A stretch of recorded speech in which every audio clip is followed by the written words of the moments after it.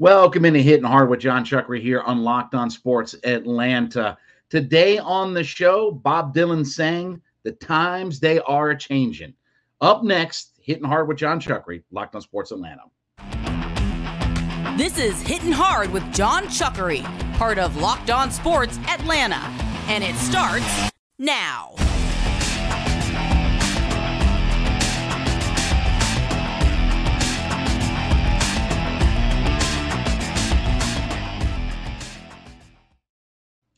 Hitting Hard is brought to you by Bet Online. Head to youtube.com, put Locked On Sports Atlanta into your search browser, hit that subscribe button, leave us a comment.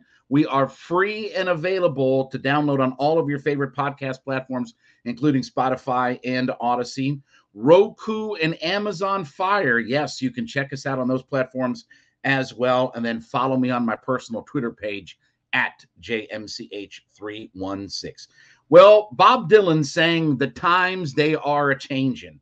So on a day when Travis Schlenk stepped down from the president of basketball operations, handed over day-to-day duties to Landry Fields, on a night when the Atlanta Hawks lost a tip-in buzzer beater and fall to 16 and 16 and oh by the way, they're 6 and 9 over this 19 game stretch. Remember the remember the 19 games that we looked at okay from the Sacramento Queens the day before Thanksgiving to the end of the calendar year.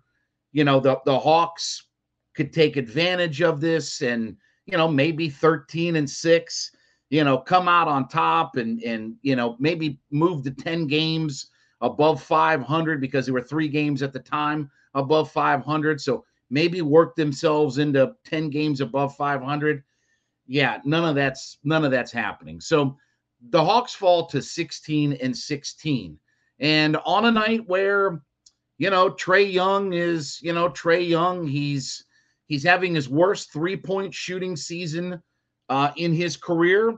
He's shooting it from two point land basically the lowest percentage of his career um, John Collins. John Collins has scored. John Collins scored 24 points and 23 points in the first two games of the season. He's had one 20 point game since then. All these things are falling apart. And it's no wonder that Tony Ressler didn't want to move into luxury tax. Now, look, do I think Nate's going to get fired or there's going to be trades and this, that, and the other? Probably yes to all of this. You know, Nate McMillan is sort of dead man walking. You know, a NBA league executive said that quote unquote, it's a toxic situation right now with the Atlanta Hawks. Whew. Um, this wasn't the way it was supposed to go. And Nate McMillan is probably dead man walking. I mean, by March, maybe not even, maybe by the All Star break, we could see a coaching change. I do think that we're going to see some player movement, but it's no wonder that Tony Ressler didn't go into the luxury tax. You know, to be really good and to make a move up in the standings and to be a championship caliber team, you have to get into the luxury tax. I mean, there's just there legitimately is no way around it. And the Hawks are 1.8 million dollars. If they had kept Kevin Huerter, they would be in the luxury tax. And once you dip your toe into that water, it's hard to get out. You, you know, it, it's uh, until you just hit a complete rebuild, dump salary, this, that, and the other until you do that, it's hard to get out of the luxury tax pool. So you're either in it or you're not.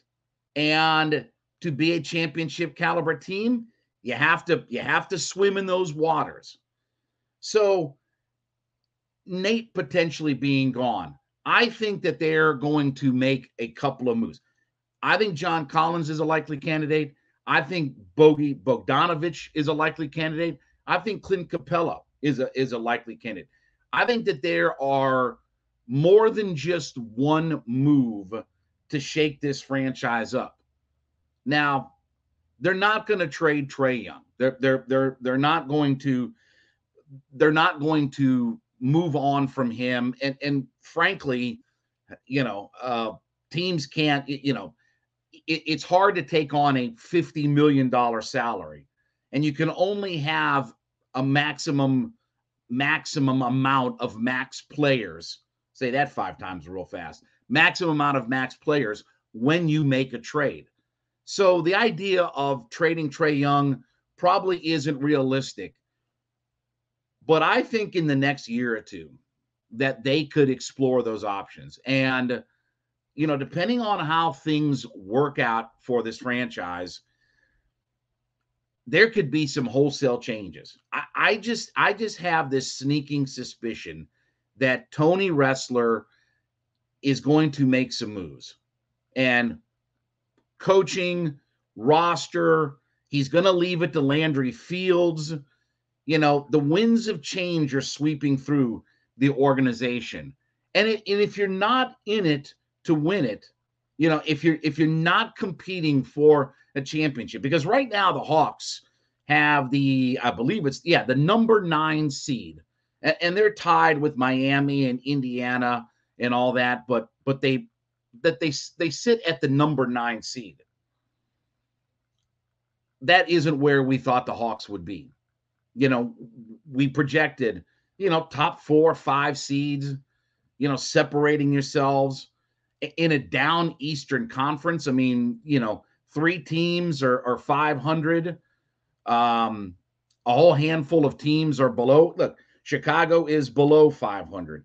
Toronto is below 500. So you, you got some breaks, but this hasn't gone the way that the Hawks envisioned it.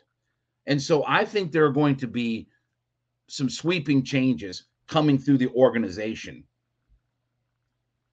Nate McMillan said last night they played flat.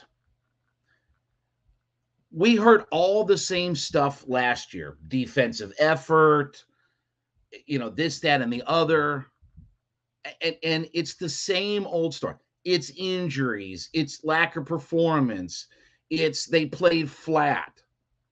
You know, it, it's the same old story. And that's why I think it's getting old for Tony Ressler to just go down this pathway. You know, he made the big move to get DeJounte Murray in this on this squad.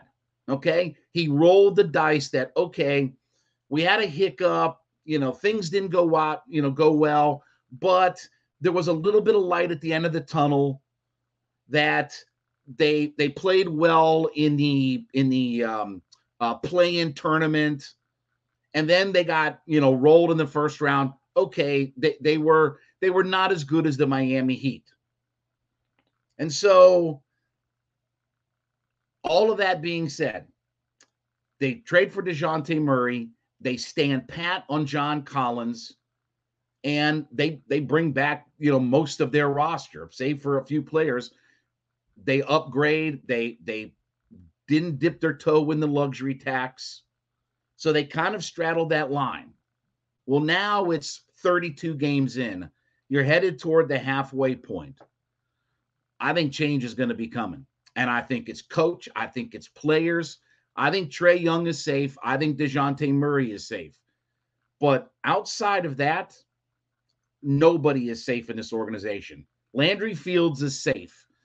The the the move to go on from Travis Schlenk, that, that's a business decision. That that's collect a paycheck, advise me, but you're not part of the day-to-day operations.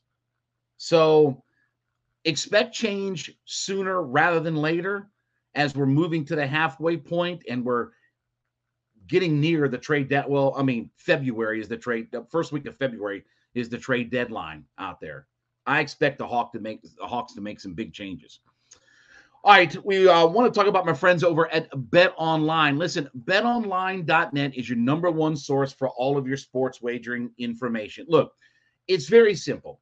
Take that mobile device head to betonline.net. When you put betonline.net in to your phone, check out all of the information that they have podcast news, stats, scores, this, that, and the other, making you a smarter sports better.